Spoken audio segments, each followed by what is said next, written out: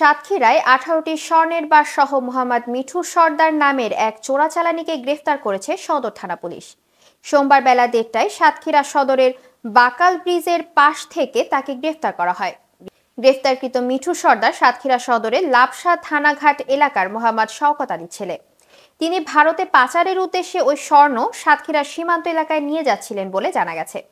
সাতক্ষীরা সদর থানার ভারপ্রাপ্ত কর্মকর্তা আবু জিহাদ মোহাম্মদ ফখরুল আলম খান জানান গোপন সংবাদের ভিত্তিতে এসআই শাহজালাল ও এএসআই জিয়া একটি মোটরসাইকেলকে চ্যালেঞ্জ করে। এ সময় তার মোটরসাইকেল তল্লাশি করে মাদকের বদলে আঠারোটি স্বর্ণের বার পাওয়া যায়। স্বর্ণের বারগুলো অতি কৌশলে মোটরসাইকেলের চেসিসের ভেতর টেপ দিয়ে পেঁচানো ছিল। গ্রেফতারকৃত আসামি ভারতে পাচারের উদ্দেশ্যে স্বর্ণের বারগুলো নিয়ে যাচ্ছিল বলে প্রাথমিকভাবে স্বীকার করেছে। ওসি আরও জানান, স্বর্ণের বারগুলো মোট ওজন দুই কেজি নিরানব্বই গ্রাম পাঁচশো বিশ মিলিগ্রাম। এর বর্তমান বাজার মূল্য প্রায় এক কোটি পঁয়ষট্টি লাখ ষাট হাজার টাকা। গ্রেফতারকৃত আসামির বিরুদ্ধে আইনগত ব্যবস্থা প্রক্রিয়াধীন রয়েছে। ঘটনাস্থলটি অতিরিক্ত পুলিশ সুপার সজীব খান পরিদর্শন করেছেন।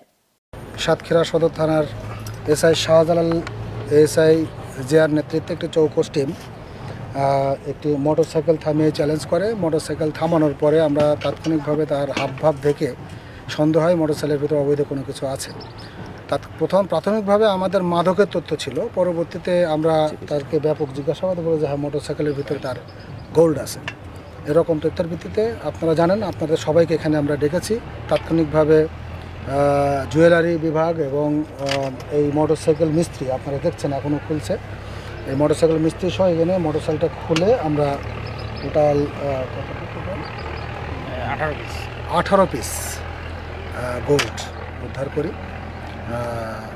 তো আমরা এতে জাস্ট নাও এটা উদ্ধার কার্যক্রম শেষ হয়েছে। একজন আসামি আমরা গ্রেপ্তার করেছি পাশাপাশি একটি মোটর সাইকেলও তার সাথে পাওয়া গেছে। এই হচ্ছে আমাদের কার্যক্রম। পরবর্তীতে আপনাদের আপডেট জানানো হবে।